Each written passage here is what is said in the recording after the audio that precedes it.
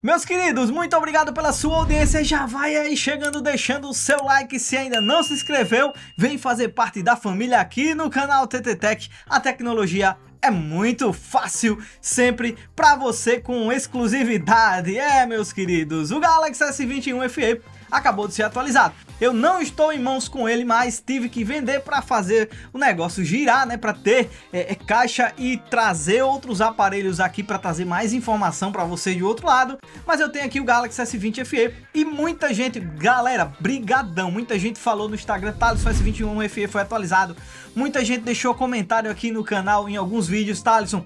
Avisa aí pra galera que o S21 FE foi atualizado. Então, Tô avisando para todos vocês que ainda não chegou aí o balão de notificação, não apareceu essa novidade. Você tem um S21 FE 5G, você pode atualizar imediatamente, de forma bem simples. Eu tô aqui com o meu S20 FE, como eu falei para vocês, e eu vou gravar aqui mostrando de forma bem simples. A maioria de vocês já sabem, mas para quem ainda não sabe, ó, é simples, ó, configurações.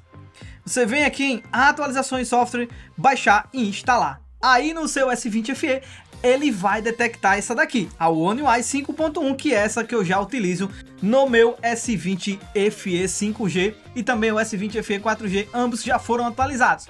E muita gente fica na dúvida, Thalisson, atualizo ou não atualizo? Ó, vai sem medo de errar, porque a One UI 5.1 ela realmente tá bem redondinha, ela trouxe melhorias em autonomia de bateria, ela trouxe melhorias em performance e em fluidez além de novos recursos. Se você ainda não viu, tem vídeo especial aqui no canal onde eu mostro vários recursos que, além de novos, outros foram bem aprimorados com essa nova interface da Samsung, trazendo e deixando o seu aparelho ainda melhor, o que é muito bacana, bem legal. Já atualizou? Já comenta aí pra mim se, o seu, se você sentiu que o seu aparelho melhorou, se você diz, ah Thales, eu acho que não melhorou, se você viu algum bug, algum problema que, que apareceu ou que foi corrigido, deixa aí o seu comentário, porque é muito, mas muito importante a gente fazer isso trocar informações aqui no canal, onde a tecnologia é muito fácil e a informação sempre é para você que está aí do outro lado com imparcialidade. Então, não sai desse vídeo sem deixar seu like. E mais uma vez, brigadão a todos vocês que me alertaram no Instagram. Se você não me segue, corre lá, Thalisson TTTech.